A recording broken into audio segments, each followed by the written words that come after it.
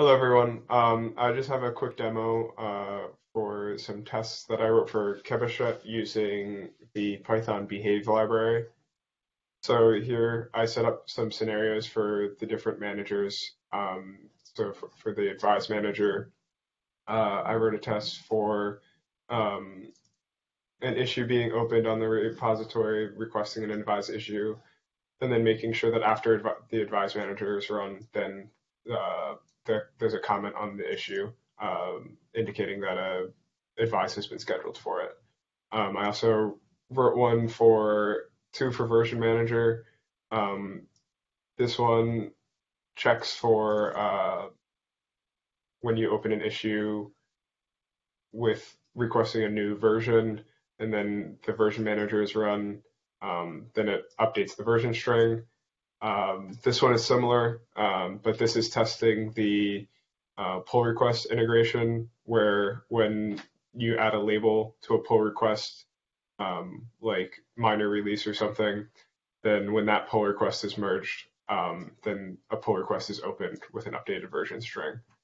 Um, and then finally, the update manager is just checking uh, and making sure that an out of date dependency is updated to um, 2.0 here. That's just because uh, that's what's asked for in the uh, pip file in the repository. So all of this is uses a uh, template repo on GitHub, uh, and then it creates a temporary repository runs the scenario, and then deletes the repository. So we can run the test really quick. Behave.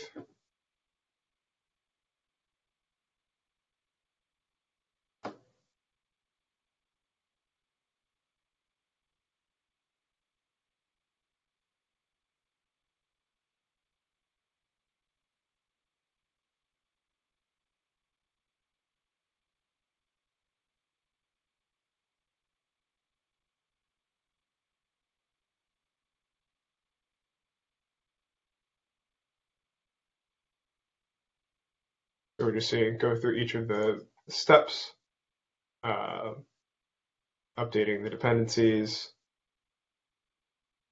opening an issue and making sure that the version strings are updated, and then opening pull requests.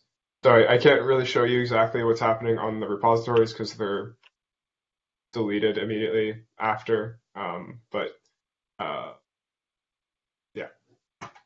that's basically it. And you have an annotation or tag or whatever it is. You you basically say add with repo, repo or repository in the source code. If you're going to switch back to the uh, oh, we see it on the first line of the terminal right now. You basically yeah, so say with repo. with repo, and then if you go to um, here, then I have these before scenarios. Um, so if it's if with repos in the scenario tags, then it uh, sets up the repository, and then after it, it tears it down, removing the source mm. code and stuff. And it's using your personal access token to talk to GitHub, or how is it working out? It's yeah, it's using my personal access token. So if you want to run this yourself, you have to export it.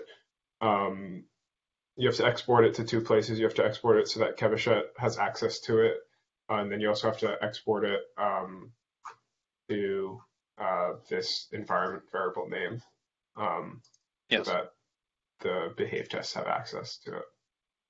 Mm-hmm. And uh, then you said um, it is using a template uh, repository. That's where's that? What, what is that? It's just having uh, like a pip file. Yeah, give me a sec. I can I can open it.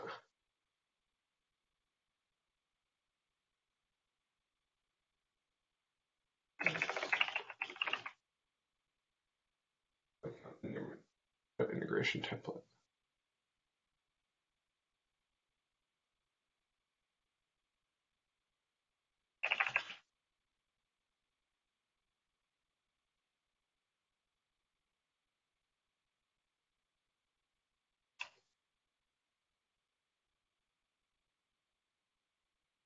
So here it has like a version.py file, um, pip file with uh, click 2.0.0 defined, and then a pip file dot lock where click is locked down to 1.0. Um, then we have this. This doesn't really matter because we're running the bots directly. We're not running them through the um, the uh, configuration. But if you do want to test the configuration, then you can use this file. Um, yeah. So. Yeah. Does anyone cool. else have any questions? So, yeah, I, I think just another comment. Uh, Gage was asking for organizational level access token. Oh, I think it's it's basically the same. Um, I would just recommend not using the Sesheta token that we have been uh, by now because it's uh, counting against the API rate limit. So um, that that might fail, which means that the rate limit failed rather than the test itself failed. So maybe it's really a good advice to use a personal access token, like an individual yeah. user's one. And you nice. can you can add a tag to it to like uh, the tests when you go to run them. If you know that your changes only affect like certain tests, you can add a tag temporarily and just test uh, ones that would change. Mm. Yeah. I think that's a good strategy because um, you're basically testing end to end. You're testing the real work that uh, is doing. I think early on we talked about mocking some of the GitHub API or repositories or stuff like that.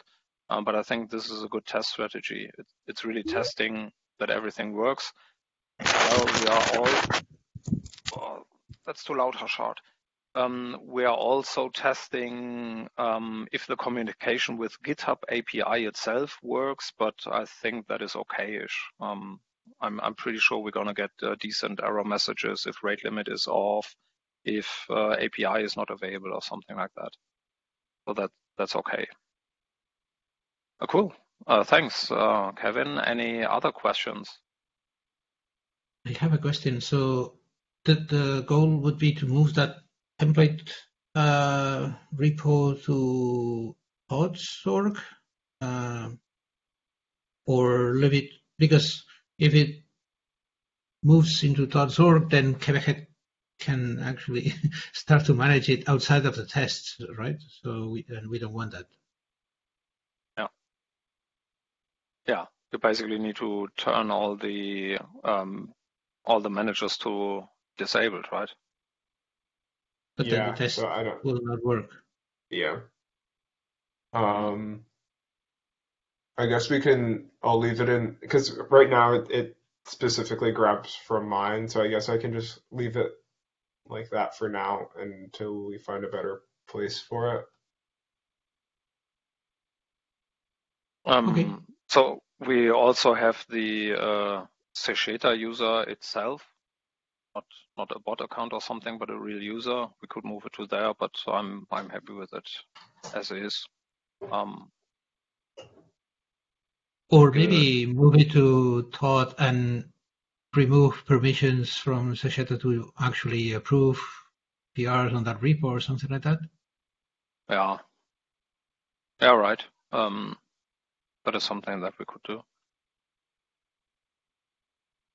Other questions, comments? Gage, is your question um, sufficiently answered? Yes. Yes. Good. Thanks, Kevin.